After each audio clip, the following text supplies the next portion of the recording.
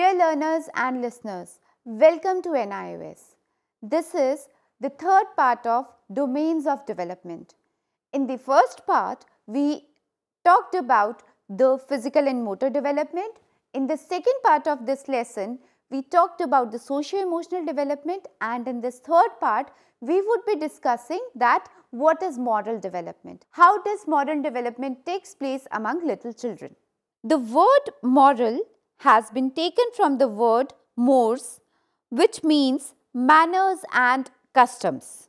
In the simplest terms, it is a sense of right and wrong. It includes moral behavior, moral reasoning and judgment. Moral behavior actually entails acting in a morally right manner. Moral reasoning refers to weighing the options as right or wrong.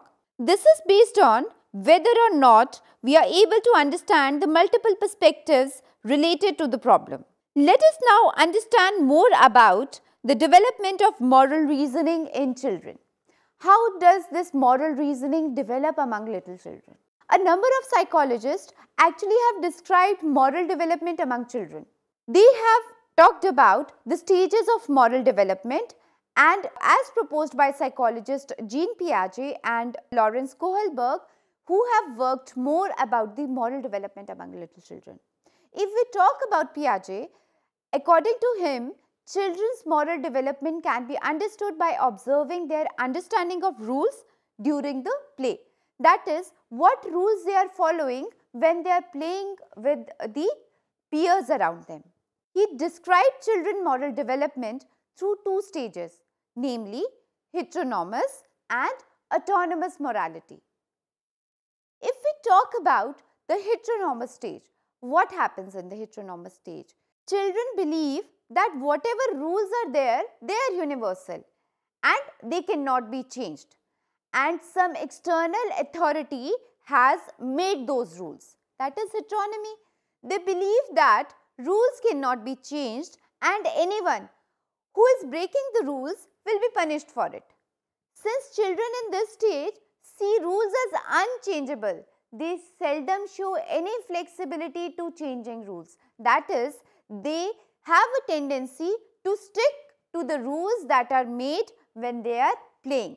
This is known as the heteronomous stage in the moral development. The second stage according to Piaget is the autonomous stage in the moral development. Now, as the name suggests autonomous, that means the children now develop an autonomy.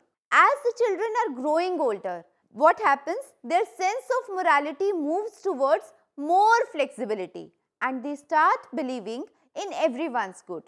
And they believe that whatever rules have been made, if they do not benefit others or them, then they have no place. That is, they can be changed by the common consensus. This means at the autonomous stage of moral development, children have the tendency to be flexible when it comes to the rules and regulations to behave. According to Lawrence Kohlberg, the moral development takes place at three levels. The first is the pre-moral level. The second is known as the level of conventional morality and the last and the third is known as post-conventional morality. Let's understand about these three stages. At the pre-moral stage, children learn right and wrong from the people around them. Their conduct is determined by external factors like approval and disapproval by the authority figures or rewards and punishments. That is, whatever others are saying is right. Thus, a child's behavior is oriented towards obedience and punishment. As the child approaches middle childhood, the capacity to understand relationships and moral codes expands and it continues to grow in adolescence. At the level of conventional morality, children tend to believe that rules can be changed if they do not serve the common good of the society. In the post-conventional stage of moral development, the sense of right and wrong is decided by one's own conscience and nothing can be imposed from outside. One may keep certain universals like value for life at the highest order of values and may also break a law for the same.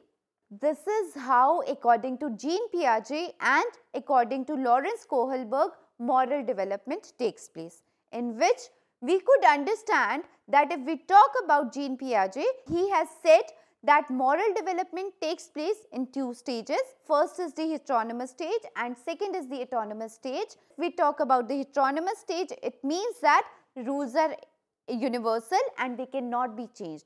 And if we talk about the autonomous stage, it means that rules can be changed with common consensus if they are not serving a good purpose or benefit for others.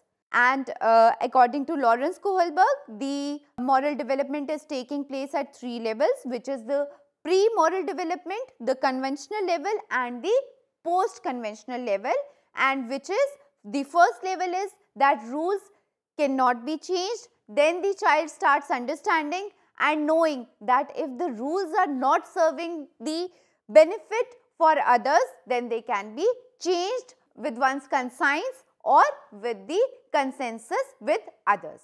I hope you could understand that how the moral development takes place among little children. With this, I end up for today's program. Thank you.